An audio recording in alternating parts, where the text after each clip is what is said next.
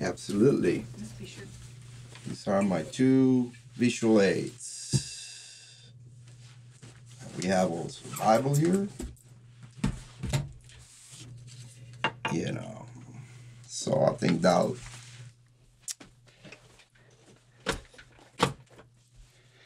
My name is Dr. Oscar Garcia Johnson. I'm assistant provost uh, for the Center for the Study of Hispanic Church and Community, and I teach in the area of theology and Latinx study. Today, we're going to be uh, speaking about the book of Genesis.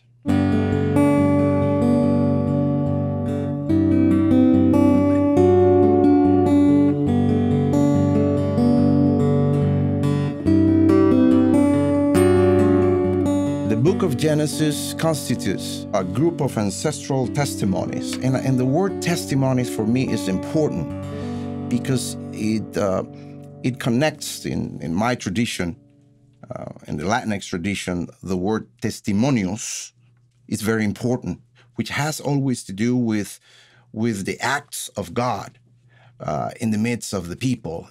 So the past, the present, and the future are, uh, you know, uh, very important in that in that uh, in that word testimonios. And I think that is something that we can see in the book of Genesis. In the book of Genesis, we find that God is a God of life. It's a God for life. It's a giver of life, and that is uh, a core um, understanding of the book of Genesis. I think that must inform our personal spirituality as well as uh, our vocation as the people of God in whatever we do. We cannot forget that that when we speak of Genesis, it, it's part of a of a bigger of, of a bigger composition called the Torah. And the Torah, uh, it's a it's a composition that is it was used to uh, communicate to children the story of the origins the genealogy of how God was involved in creating a earth that is worth living. It's a God of life, I continue to say. Since page one, God is involved with his created world. God is always portrayed as a covenantal God. And let's make no mistake here.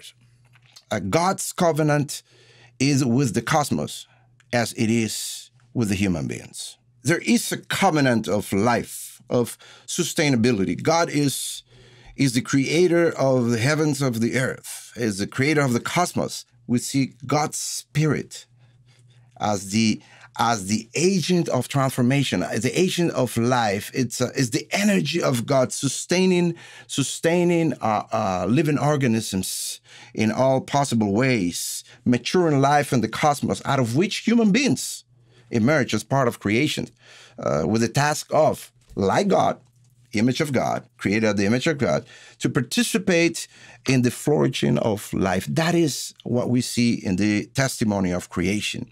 Now we move to another narrative, which is extremely important, and is the testimony of the calling, the calling of Abraham and Sarah. We're in, we're in chapter 12 of the book of Genesis right now. Think for a moment what's happening here in this calling of Abraham and Sarah an ordinary and disadvantaged Chaldean family. They're calling into an impossible journey to settle in the land of Canaan.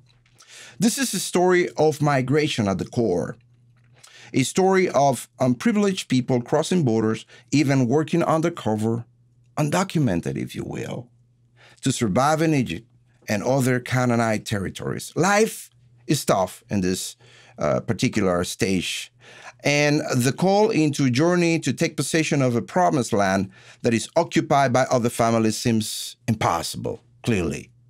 This is a complicated story because, by any standard, the possession of the so called promised land implies the displacement of people inhabiting those territories. Land was not empty. If this land is indeed a land provided by God, then it has to be for the blessing of all the families. And that means that is for the blessings of the families of the Canaanites as well, not just for one. So it's not just about a, an Israelite uh, community or Israelite uh, reading of the text is should be, uh, you know, the reading of all the peoples of the earth. This account appears as a contrapuntal story, I would argue, of becoming a people in the midst of a great imperial subjugation. Let's remember something Abraham and Sarah are not a dominant figure in this story. They're not uh, masters, uh, but they are, if I may, uh, a couple of nobodies that have believed God has called them uh, out of anonymity into becoming a flourishing community, not for the sake of one particular race, culture, civilization, but all the peoples of the earth. Genesis, like no other book, unveils our bias, ideological, cultural tendencies toward caricaturing God and stealing God's identity on the basis of race, gender, geography, class, and privilege, political preferences. And the root problem is not seen as the disobedience of one single individual. That's pretty much more of a modern concept. But seen as supplanting God's identity and falsifying God's knowledge for the sake of human power and privilege over other humans or other groups, and even uh, creation, submitting creation as a whole uh, to our own uh, power and control.